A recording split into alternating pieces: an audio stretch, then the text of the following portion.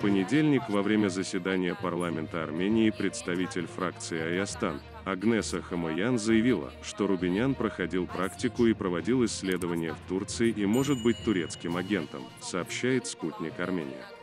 Рубинян парировал, что все подобные утверждения безосновательны, и отметил, что может прибегнуть к ответным действиям. «Могу и сказать и сделать кое-что», — сказал Рубинян.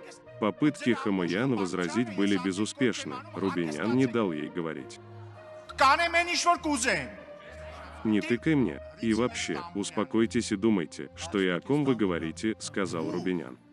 В этот момент из зала заседания начали раздаваться голоса, что не понравилось Рубиняну.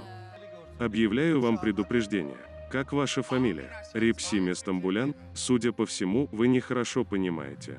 Обращаюсь ко всей вашей фракции, успокойтесь.